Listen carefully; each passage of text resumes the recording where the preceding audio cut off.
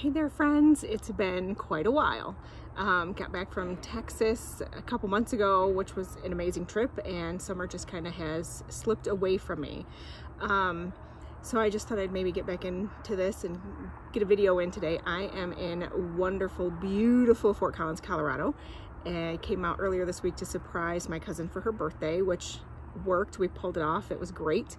Um, so you can sort of kind of maybe see the mountains back there. They're kind of in a, they're, they're a little far away, but they're there nonetheless. And it is gorgeous. It's like 93 degrees here today. Does not feel like it uh, for me, for, for this Michigan girl who has been used to all the crazy humidity we've been having. This is wonderful.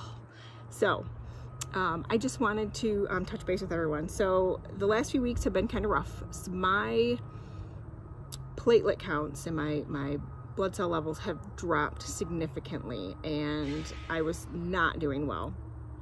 And I didn't want to admit it. You know, I was in huge denial for probably longer than I should have been.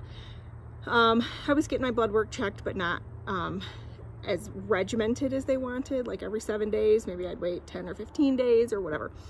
Um, and then I actually did go and they checked nothing that they were supposed to. Um, you know, which I didn't find out till after I got home. So, you know, the labs don't always know and I should be better prepared and make sure and double check that they're checking the ones that they need to. And I just take for granted that they're going to do what they're supposed to do or do what I'm, i need to have done. Um, so lesson learned, always know what you're supposed to have done, double check, verify. They don't always know and they're not always pulling the right things, especially if you've got orders for all kinds of crap like I do. So, um, lesson number one, yeah, always make sure. So there's that. Um, but anyway, so what it was doing, because my platelet count was so low, it completely, completely wore me out.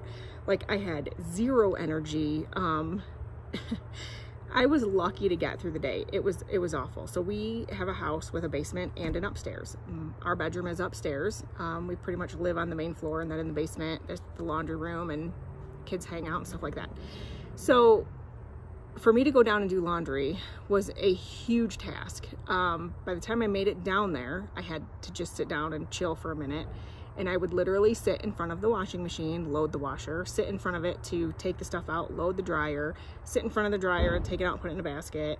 Like, it was ridiculous. Um, I'd one of the kids or, or Jamie would have to bring the basket up so to fold. And actually it wasn't that they were making me do all this. They were totally helping out. But when they're at work or at school or doing whatever they need to do, not that school has started, but band practice has started. Um, I, I would do it because that's what you do. You know, you don't just stop doing what you do. So, um, it, but when they were home, they totally helped and pitched in and stuff like that. But it, I didn't think about not being able to do it. Like that wasn't a thing to me. It wasn't that I couldn't do it, right? So I'm figuring it out. How do you how do you make this happen? You don't feel that great, but let's make it happen. Um, for me to walk upstairs, I could only do one flight at a time, and I would have to go sit down and rest. I'd go back upstairs to my room where I have uh, my office set up, kind of at the top of our stairs. There's a landing because um, I am back to work, and it would take me a good two, three, four, five minutes to just sit there until my heart quit feeling like it was going to beat out of my chest and until my legs calmed down. Like it was so strange. So I, I'd, I would walk up the stairs and my, literally my heart would feel like it was going to beat right out of my chest and my legs would feel like they were going to collapse underneath me. And the only way I could explain it to my husband was, um, they feel like they're starved of oxygen. Like they ache and they they they hurt and and it wasn't my legs necessarily, but it was totally my muscles and I could tell that. So it was very strange. Um, and I didn't realize, you know, it was as bad as it was. Um, and I, and I didn't want to think it was as bad as it was. I was just like, yeah, it, it, it's okay. I'm just having a rough day. It'll be better tomorrow. It'll be better tomorrow. It'll be better tomorrow. Like, I can't tell you how many times I said that to myself. So by the time I got to the doctor um, and really realized what was going on, they wanted me to have a blood transfusion. And I was like, um, no, I don't want a blood transfusion. I'm happy with the blood I got, you know, and one of those because I'm, you know, oh so stubborn and uh, whatever. So I did end up, of course, having a blood transfusion. And I can tell you, what a difference. Like I felt so much better. And it took a couple of days, but I was gradually getting better and unbelievably different. I, I had energy, not a ton, but I could walk up the stairs and not feel like I was going to die. Um, I could walk outside and see what the guys were doing and not feel like I was going to collapse in the middle of the driveway. Um, so yeah, it's, it's, it, it's a thing. So when your body's telling you something, we really, really, really need to listen. And sometimes it's really, really hard because we always feel like we know what's best, right? We've been inside our bodies for however many years old we are. We know what's going on. No, not always. Um, so that's today's thing. So I, I've been reading all kinds of different things this summer. And of course, since I could do basically nothing for the last several weeks, I've gotten several books in, which is good. But since I got to Colorado, um, my cousin is a huge reader, and I picked this one up the other day um, straight up. This guy was uh, an NFL player and he wrote a book. His name is Trent Shelton. And so far, it's been awesome. Um, they're doing some construction over there. Um, and I really like it, but he totally hit the nail on the head. Um, and I'm gonna just read you this, this little, little tiny blurb. Um, it says, a pastor I knew once tried to explain Genesis 1 to me, how God created everything with a single word and a single thought. He said, We actually know what this is like. There's one area in our lives where God has given us that level of control and power, and that is in our bodies. When you think, arm, move, your arm listens and moves. And when you say thumb up, your thumb obeys. And it's pretty incredible if you think about it, right? I mean, I'm talking to you because I'm telling myself to talk and it happens. That's just how it works. But we don't think about these simple little things, right? We take them for granted. But if you really take a minute and think about it, it's pretty profound. So, um, when your body, it's a weird thing for you when you tell your body to do something, to try to move a muscle or tell your arms or legs to move, and you get no response. But that's what was happening to him in this book. That was was happening to me. Um, I wanted to go out and see the guys one day. They were all working out in the yard, in the, in the driveway, the garage, whatever. There's a million projects going on at my house. And I just wanted to go outside and hang out and see what was up.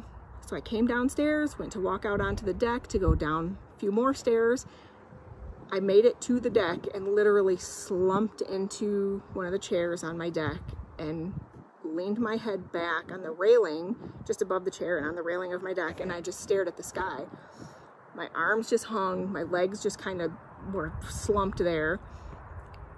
And I just thought, and, and it's kind of morbid, I guess, I don't know, but I was just like, this, maybe this is what it's like, you know, when you die.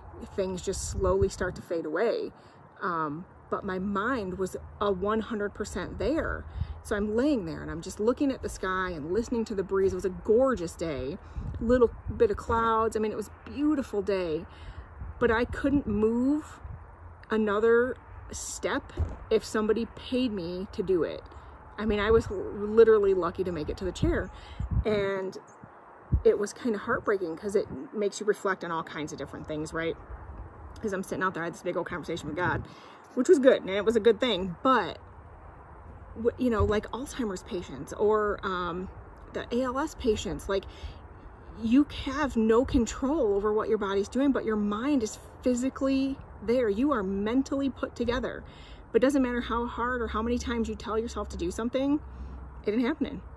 And it was a scary reality for me. Um, and that was like four days before I found out that I needed a blood transfusion.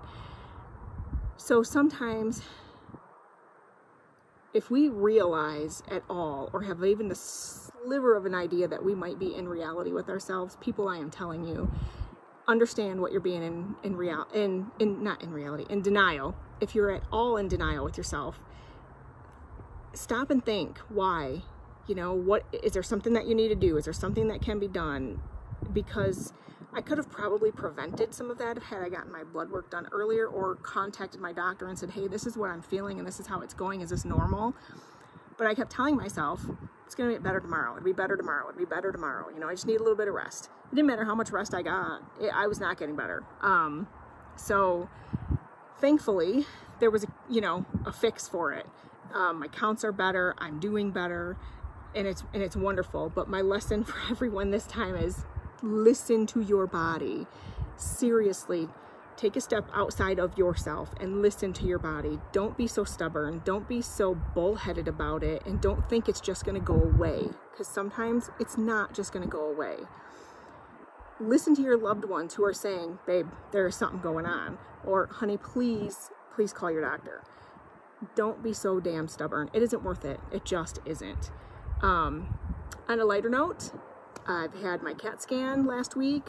I am still disease free, no evidence of disease at the moment.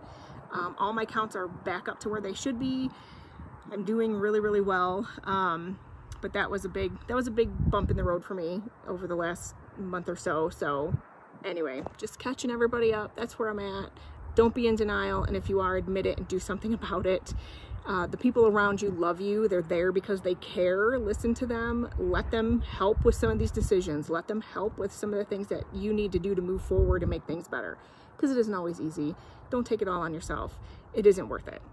So enjoy the people that are around you and that love you and uh, let them in a little bit more every day because it's it's nice. And when you do, you'll be grateful and thankful, I promise.